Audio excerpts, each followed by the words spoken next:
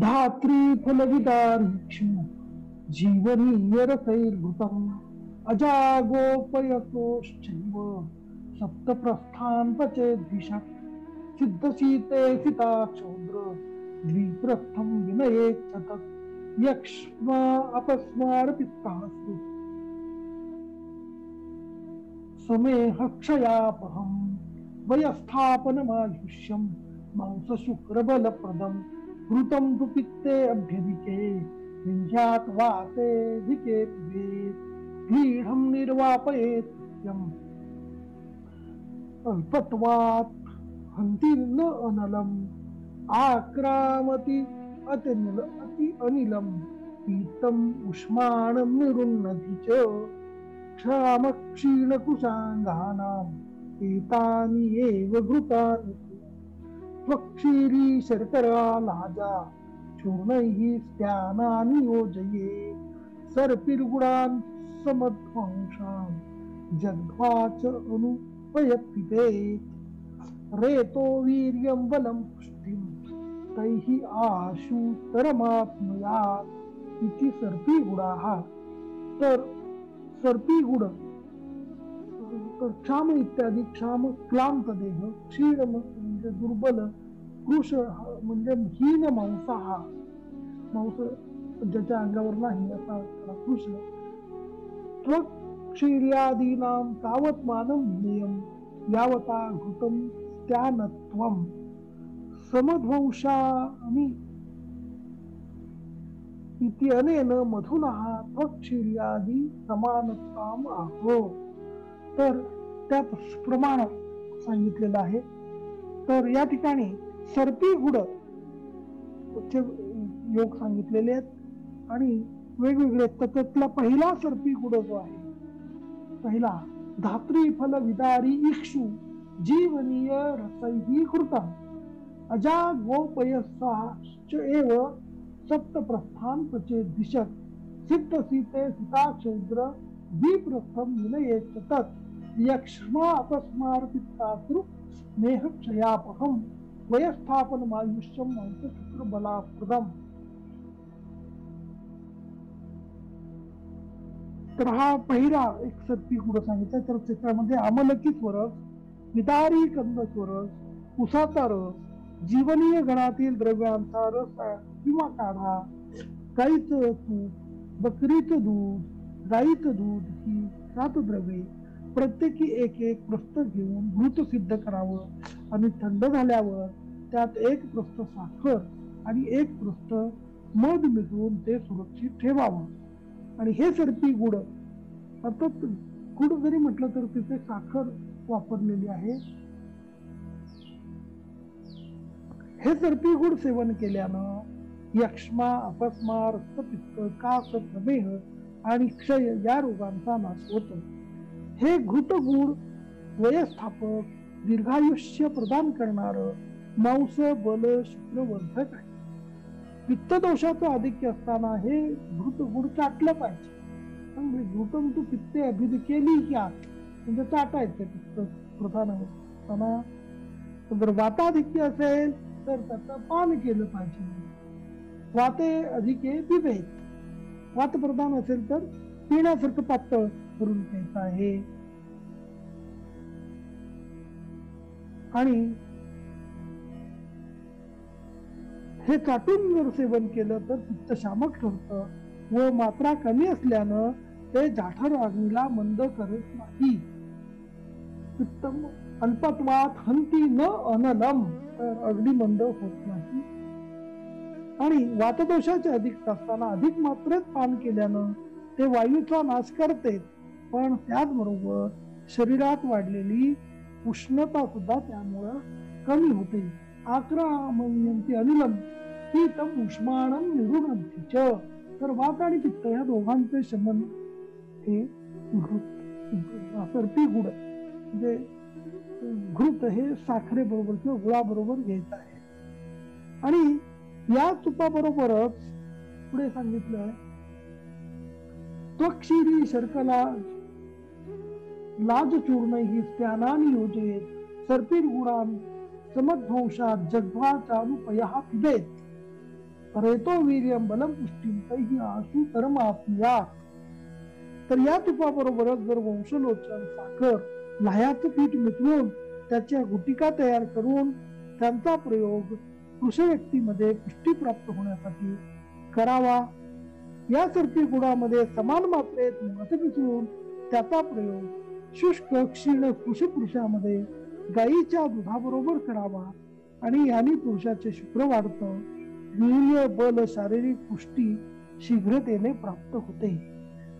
तर हा पहिला सर्पी गुड म्हणजे ज्याच्यामध्ये घुत आणि गोड पदार्थ साखर किंवा गुळ हे वापरलेलं आहे आणि ते त्यानंतर दूध प्यायचं आहे. हे महत्वाचं अशा पद्धतीने घेतलं तर एक शक्तिवर्धक योग आहे पुढे. दुसरा सर्पी गुड योग दिलेला आहे. बला विदारी ह्रस्वाच पंचमूली पुनर्नवा पंचानाम क्षीरवृक्षाणाम शृंगामुष्ट्यंशका अपि येषां कषाये दिक्षिरे विदार्याज रसांशिके జీవనీయై పచేత్తముకై కక్షమాత్రైర్భృతాఢసం చితాపలాని పూతే చ. శీతే ద్వాత్రింశతం క్షిపే గోధూమ పిప్పలీమంసి చూర్ణం శృంగాటకస్య చ. సమాక్షకం క్రౌడవికం తత్సర్వం ఖజమూర్ఛితం దానం సర్పిర్గుణాన్ కృత్వా యూజపత్రేణ వేష్టయేత్.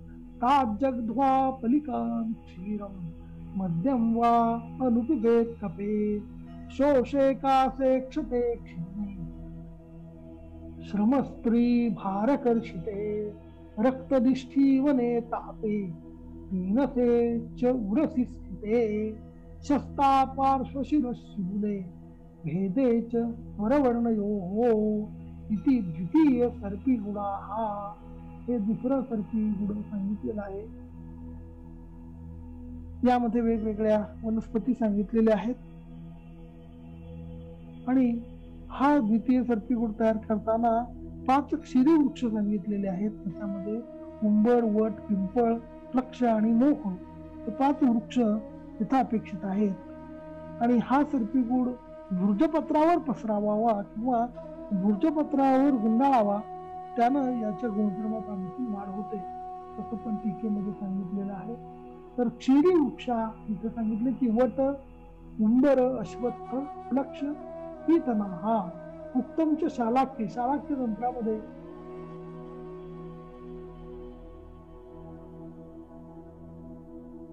सांगितलंय की उदुंबरो वटो अश्वत्थो मथुकहा प्रक्ष एवच पंचैते क्षीरिणो वृक्षा असलीच तंत्रे प्रकीर्ती. पहा शिरी वृक्ष कोणते तर उंबर वड अश्वत्थ म्हणजे पिंपळ मधुक म्हणजे मोह आणि प्लक्ष. हे पाच क्षीरी वृक्ष आहेत. ते वापरायचे आहेत.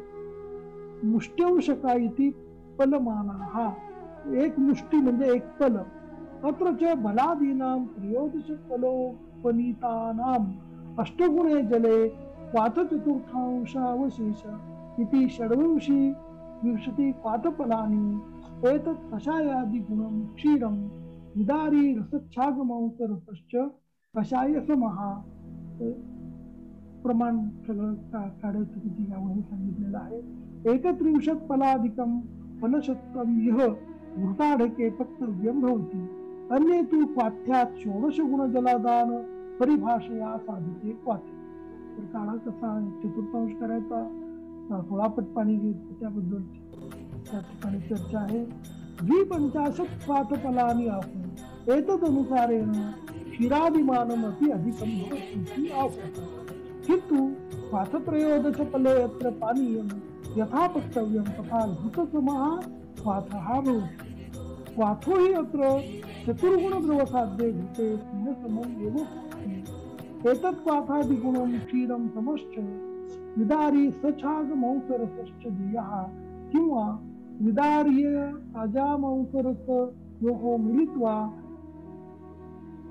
द्वाढकांशो उक्तं हि ऋतुकरणे वृश्चिवं पञ्चमूलं बलां वटादि शृङ्गाश्च शुंगाश्च निष्पात्य द्विक्षीरे छाग समे जीवनीयगणकल्पैश्च पक्वा घुताडती अत्र ही पाठ्यद्रव्यमान मानम अनियतम इति विशेष. तर काढ्याचं प्रमाण त्या योग्य त्या प्रमाणात घ्यायचंय प्राथस्तू स्नेह समयव आपण जेवढा काढा घेतलाय तेवढं घृत तयार करताना घ्यायचंय खज म्हणजे मंथान दंड हा दशांगुलो वा हस्त. हा तर खज प्रमाण आहे तर दहा अंगुळ हा आणि भुर्जपत्र वेष्टनमच शक्ती उत्कर्षार्थम. तर भुर्जपत्रावर पसरून ठेवल्यामुळं त्याचे आणखीन त्याचे गुण वाढतात. हे पण सांगितलेलं आहे ह्या द्वितीय सर्पी गुणामध्ये. तर यामध्ये बला विदारी कंद लघुपंचमूळ पुनर्नवा पाच क्षीरी वृक्षांचे शुंग म्हणजे नवे अंकुर. ही सर्व द्रव्य एक एक मुष्टी घेऊन आठ पट पाण्यात त्यांचा काढा करावा. एक चतुर्थांश उरल्यावर गाळून त्यात दुप्पट गाईचं दूध मिसळावं आणि तेवढ्याच काढा इतका विदारी कंद स्वरस आणि तितकाच बकऱ्याचा मांसरस मिसळावा. त्यामध्ये जीवनीय गणातील औषधी प्रत्येकी एक कर्ष घेऊन त्यापासून बनवलेला कल्क मिसळावा आणि वरील सर्व द्रव्य गाईचं तूप एक आढक मिसळून घृत सिद्ध करावं. आणि नंतर त्यात बत्तीस पल साखर गव्हाचं पीठ पिंपळी चूर्ण वंशलोचन चूर्ण शिंगाड्याचं पीठ आणि मध प्रत्येकी एक एक पुडव मिसळावी आणि ही सर्व द्रव्ये एकत्रित करून त्याचं मंथन करावं. आणि तयार होणारा हा सर्पी गुड भोजपत्रावर पसरून ठेवावा आणि सर्पी गुड एक एक पल परिमाणाचा बनवावा. हे सर्पी गुड खाऊन त्यावर दूध आणि मध द्यावे म्हणजे लाडू केल्यासारखे हे करावे आणि कफदोष प्राधान्यता असेल तर मद्याचं प्राशन करावं. शोष कास क्षीण स्त्री सहवासानं आलेली कृषता रक्तनिष्ठीवन ज्वर पिनस उरक्षत पार्श्वशूल शिरशूल स्वरभेद आणि वर्णभेद यासाठी हे सर्पी गुड उत्तम लाभदायी असतात. यामध्ये सर्पी गुड तयार करताना पाच क्षीरी वृक्ष सांगितलेले आहेत. ते मुंबर वट पिंपळ लक्ष आणि मोह. हे पाच वृक्ष अपेक्षित आहेत. आणि हा सर्पी गुड भुर्जपत्रावर पसरल्यामुळं त्याची शक्ती वाढते. असं पण सांगितलेलं आहे. पुढे आणखीन एक सर्पी गुड दिलेला आहे.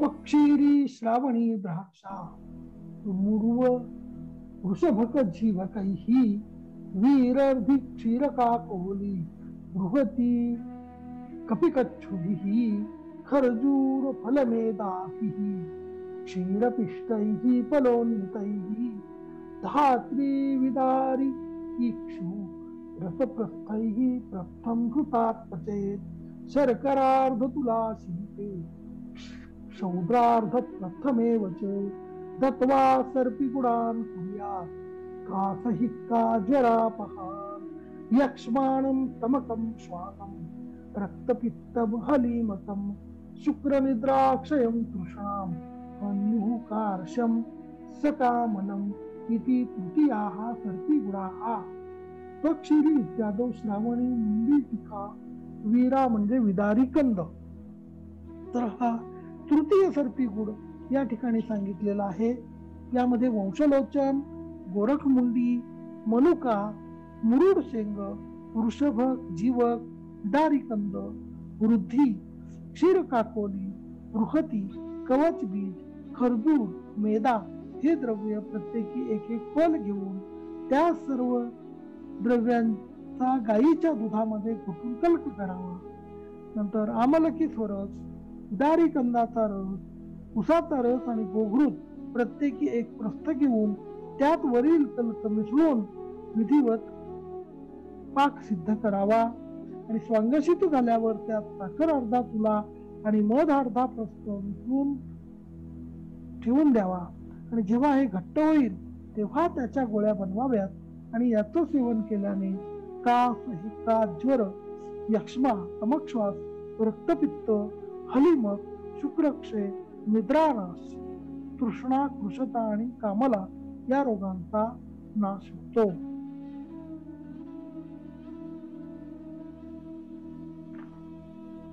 आणखीन एक सर्पी गुड सांगितलेला आहे.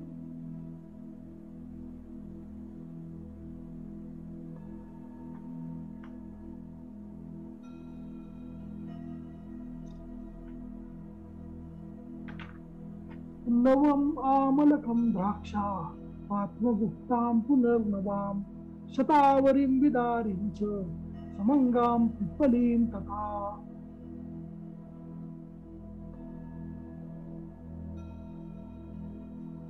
पृथक दशपलान भागान फलानी अष्टौ च नागरात। यष्ट्या द्विपलं द्विफलं मरिचस्य च क्षीरघृततैलकृतानां च। प्राढके शर्कराशते क्वथिते तानि चूर्णानि दत्वा बिल्व समान गुणान। बेलाच्या फळा एवढे गुड म्हणजे गोळ्या बनवायच्या आहेत। कुर्यात्तान भक्षेत क्षीणः क्षत शुष्कश्च मानवः तेन सद्यो रसादीनां ऊर्ध्या पुष्टिं च विन्दति इति चतुर्थ सर्पी गुण हा यष्ट्याव संवर्चल योगो मिलित्वा द्विफलम मरिचस्य द्विफलम द्विज्ञयः उत्तम ही जतुपर्णे घृततैल पयस्याढके सितांश तुलां प्रपाच्य द्राक्षाविदारी वृक्षी। व शतावरी कृष्णा शुंठी बला धात्री दश पलिका प्रपाचयेत। यष्टाव्यम रुचकम पालिकम इत्यादी। क्वचित इति भाषया क्षीणे एव क्षीरे पूर्ण प्रक्षेपम दर्शयती।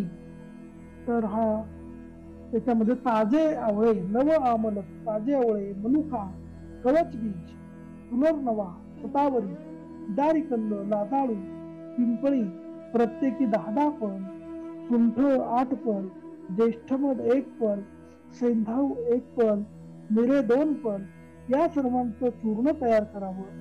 आणि गाईचं दूध तिळाचं तेल गाईचं तूप हे प्रत्येकी एक एक आढक साखर एक तुला त्यांचा पाक करून त्यात वरील द्रव्याचं चूर्ण मिसळावं आणि थंड झाल्यावर बेलाच्या आकाराचे लाडू तयार करावे.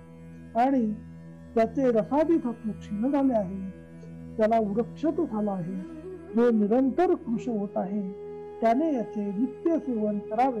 या सेवनेच्या सेवनाने रसादी धातूंची शीघ्रतेने वृद्धी होते आणि शरीर पुष्टी प्राप्त